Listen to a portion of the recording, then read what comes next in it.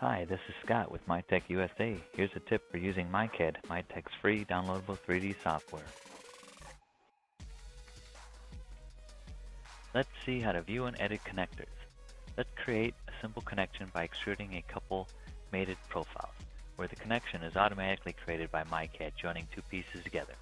Now, let's zoom in a little scroll mouse wheel. Press and hold the Alt key. Now you can see the full connector and the direction the bushing is facing.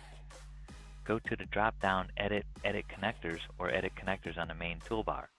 Once selected, all connections will show a green band.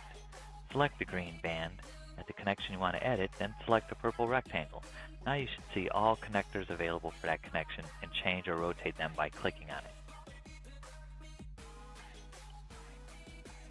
Thank you for viewing using MayTec and MayCAD. Please check out our other videos or visit our website for product information, distributors, and software downloads.